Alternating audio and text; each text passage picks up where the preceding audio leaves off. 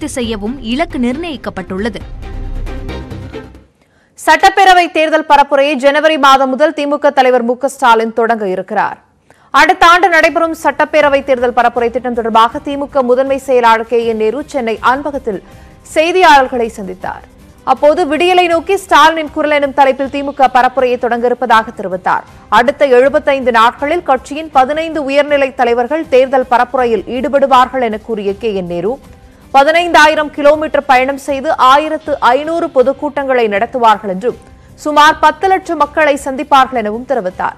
கடந்த பத்தாண்டுகளில் அதிமுக அரசின் நிர்வாக திறமையற்ற ஆட்சி மக்களிடம் எடுத்துரைப்போம் என பேசினார்.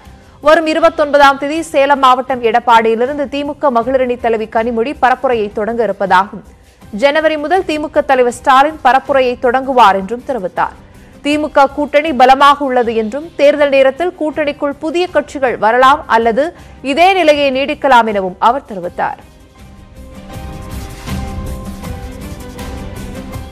தலைவர் தளபதி அவர்கள் தினந்தோறும் காணொலி காட்சி வாயிலாக மக்களை தொடர்பு கொண்டு தான் இருக்கிறார். அவர் மாவட்டந்தோறும் சென்றால் மிக அதிக அளவிலே கூட்டங்கள் கூடும். கோவிட் அந்த நோய் தொற்று என்ற காரணத்தால் இந்த கோவிட் முடிவுக்கு வந்த பிறகு ஜனவரிக்கு மேலாக அதை தலைவர் அவர்கள் தொடங்க இருக்கிறார்கள். ஜனவரிக்கு பிறகு. ஜனவரியை தொடர்ந்தவுடன் தொடங்க இருக்கிறார்